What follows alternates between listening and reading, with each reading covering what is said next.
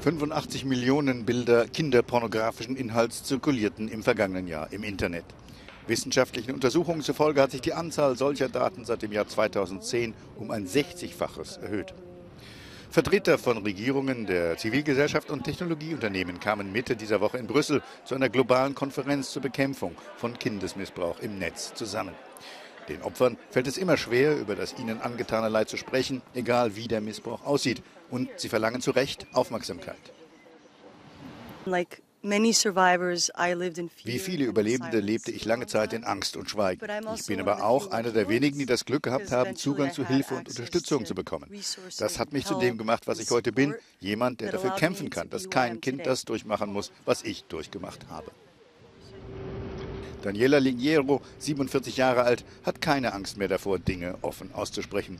Die ehemalige Mitarbeiterin von US-Präsident Barack Obama war als Sechsjährige von einem nahen Verwandten und Nachbarn missbraucht worden. Als Teenager fand sie den Mut, ihren Eltern davon zu erzählen. Es herrscht nach wie vor viel Stigmatisierung und das Gefühl der Schande. Außerdem ist der Gedanke weit verbreitet, dass so etwas immer woanders passiert, nicht in unserer Familie, unserem Bekanntenkreis und dass es selten ist. In Wahrheit ist es ein riesiges Problem. Die Zahlen sprechen für sich. Etwa jedes vierte Mädchen und jeder achte Junge erleidet weltweit eine Form sexueller Gewalt während der Kindheit. Es gibt also sehr viele von uns, aber die meisten sind unsichtbar. UNICEF, das Kinderhilfswerk der Vereinten Nationen, weist darauf hin, dass die Netzvariante dieser Kriminalität relativ neu ist, erst etwa ein Jahrzehnt alt. Die Konsequenzen dauern allerdings ein Leben lang. Es geht hier um Millionen von Bildern von Kindern, die im Netz zirkulieren, die ab und dann wieder auftauchen, jedes Mal das Trauma erneut wachrufen.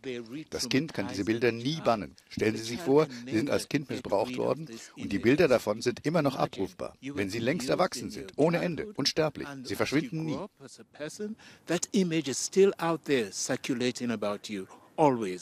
It's endless.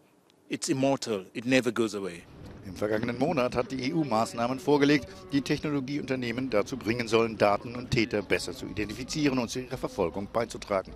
Denn für alle Betroffenen ist es das Wichtigste, dass den Opfern Gerechtigkeit widerfährt, egal wie lange es dauert.